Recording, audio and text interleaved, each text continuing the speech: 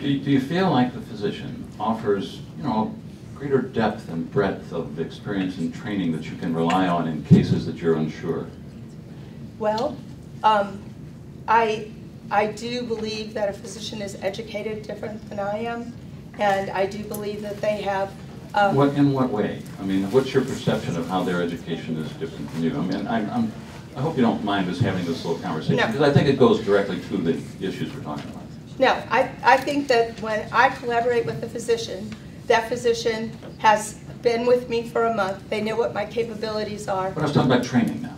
I mean, how do you perceive the training that your doctor has had and what you have had? Is, is they on a par, or has his been, or her been more, or? Um, it's been different. Um, I got a diploma from Barnes Hospital um, in 1973. I went to Washington University School of Medicine to become a psychiatric nurse practitioner. Um, I went to Maryville and got a bachelor's degree.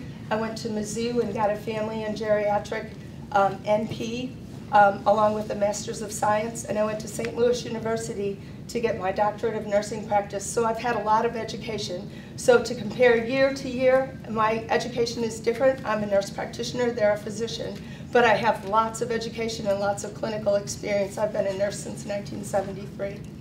So in your particular case, maybe you feel that the doctor's presence or his availability is not really all that important? I mean, it sounds as though you're pretty well qualified to take care of it on your own.